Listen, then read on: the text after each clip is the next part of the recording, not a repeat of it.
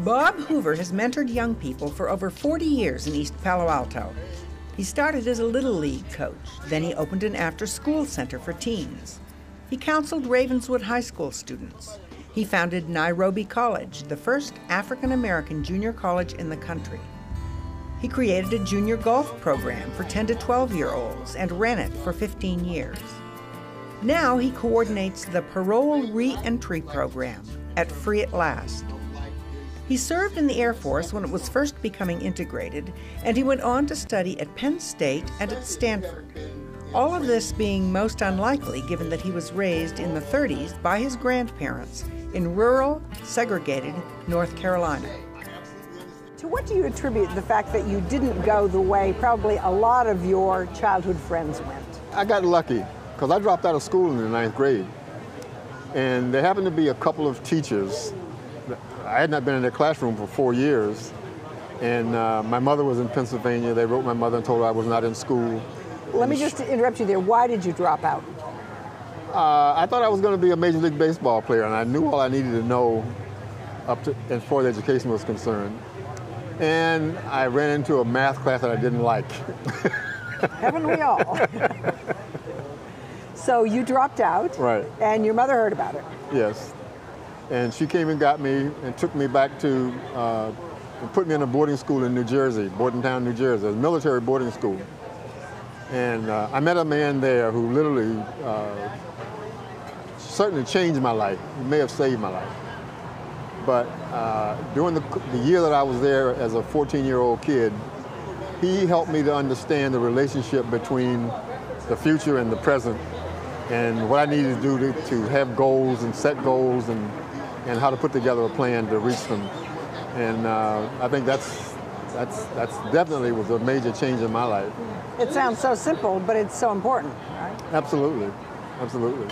Now, you, you had another big turning point in the military, it sounds like. You had another mentor. Yeah.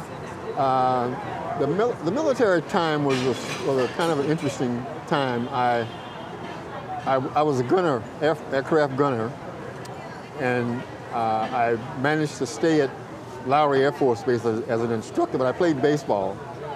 And uh, the guy, there was a guy who was a coach of the baseball team, was a big influence on me.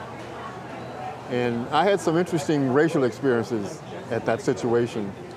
Uh, and I think, I, I remember we went to a restaurant one time in Cheyenne, Wyoming. There was 25 of us this is the team, the baseball, the baseball team, but it was the Air Force Air Force. Team. We were all dressed in our uniforms, and we're going to this restaurant, and they serve everybody but me. I'm the only black guy on the team. And so we're finished, almost finished eating, and I look around and I don't have any food. So I asked the waitress to come over, and she said, well, we don't serve you in here. And I, the most impressive thing about that was the way in which the coach of the team handled that situation. Uh, and I, I learned a lot from that. What did he do? he he called. He went to see the manager of the of the restaurant and uh, expressed his extreme displeasure with the way in which they handled it. And then he just told everybody to get up, and we all left without paying. Wow. He didn't rant and rave. He didn't go crazy, and you know he just expressed his displeasure with the situation, and then uh, retaliated in a different kind of way. So how did that translate for you? How did that inform what you became? Well, I, I that, that one incident, and, and I had a couple of other racial incidents similar to that, but all of them were handled in a way that did not require people going crazy and acting stupid. Uh, it, it showed me that we have to really work together and live together and be productive as people. And even though I had been born and raised in the South in a very extreme racist situation, uh, that there were ways of dealing with it with dignity. And I think that was a big thing that I learned from that. And so that's been a kind of a theme of mine throughout the rest of my life. Well, now I'd like to talk a little bit about the program that you're working in right now, Free at Last, because this is a fairly well-defined population. Right. Tell me who these people are that you're working with and what they bring to you. Okay we are obviously getting people who are coming out of prison. Many of them have spent many, many years in prison. Some started going to jail as early as 12, 13 years old.